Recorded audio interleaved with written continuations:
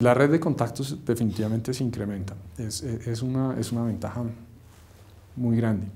Eh, lo, lo, lo, lo, interesante es que probablemente no necesitas estar en contacto todo el día o durante mucho tiempo, pero una vez eh, lo llamas, eh, oiga, acá estamos y qué necesitamos o cómo avanzamos.